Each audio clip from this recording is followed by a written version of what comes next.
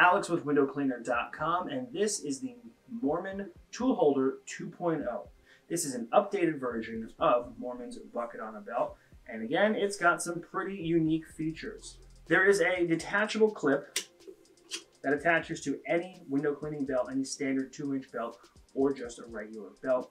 Allows you to simply, quickly take this off of your belt if you have to get into a tight space or sit down. The back side of the tool holder 2.0 is slightly concave. It'll help form to your leg as you're wearing it around, making it a little bit more comfortable. There are several slots in here to hold a variety of different tools. So let's take a look at what exactly will fit in here. On the back portion of the tool holder 2.0, you'll notice you can comfortably fit two different size and style T-bars. This happens to be a 14, this happens to be an 18. 18 inch is the longest you want to put in here comfortably to actually have the handle sit where it's going to hold it securely. To accompany two different scrubbers, you'll also see there's slots for two separate squeegees. Now, obviously, Moerman squeegees will fit in here nicely, pretty simple. Let's check out something also just basic. This is an Ettore aluminum channel on a quick release handle and it fits in there nice with no problem. Holds it secure. It's not tight whatsoever.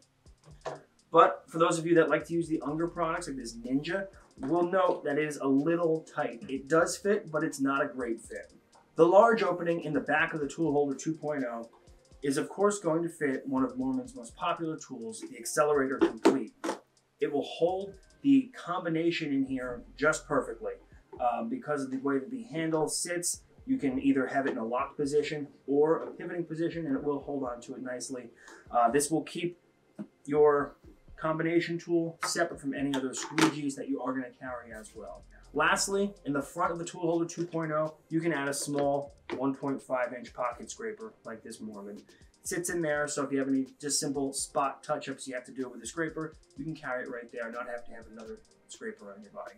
If you're looking for a tool holder or a bucket on a belt that is going to accommodate your accelerator or another combination tool, be sure to check out the Moerman Tool Holder 2.0. It's available at windowcleaner.com.